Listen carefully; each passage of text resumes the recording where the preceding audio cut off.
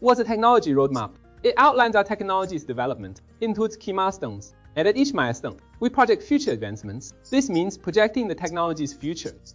So it's a plan for tech development and implementation marked by time.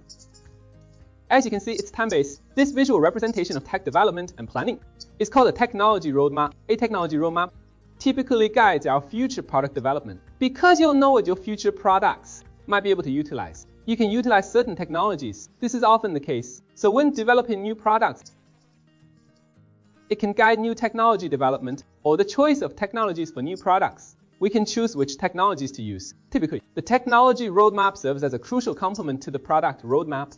Once you have this technology roadmap based on the product roadmap, it outlines the product's development process, the technologies that might be used, how these technologies make new products so advanced, the new features they possess, their cutting-edge aspects, and so forth. This is the kind of information presented. So we often combine the technology roadmap with the product roadmap and discuss them together. Let's take a look. Here's a technology roadmap for autonomous driving. It shows that around 2016, driver assistance technologies were emerging. Around 2018, we might see some partially self-driving cars. What does partially self-driving mean? For example, in certain industrial parks, where there are many pedestrians and not much traffic with relatively few obstacles on the road. So in these specific areas, autonomous driving tech might be achievable.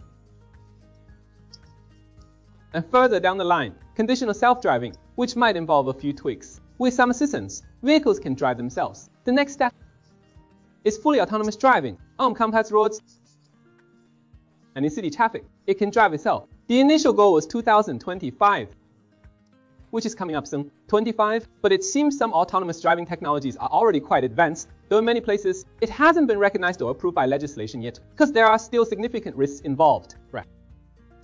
So you see, initially, it might be some driver assistance systems capable of autonomous shuttles, assisted shuttles. There might be fully autonomous shuttles, then road-based autonomous driving, followed by conditional autonomous driving. For example, at certain intersections or in some suburban areas, that enables a degree of autonomous driving. Then we'll see autonomous driving in urban areas or in non-sparsely populated areas. This represents its technological evolution. Of course, as technology evolves, it will also involve further advancements in the Internet of Things. This is a technology roadmap. It lays everything out on a timeline, outlining the future development trends of the technology and providing a plan for the future, allowing for a clear transition.